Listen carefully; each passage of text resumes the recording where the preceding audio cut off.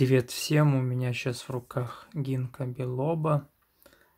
Очень хорошо помогает для памяти. Появляется такая ясность. Но это спустя три дня.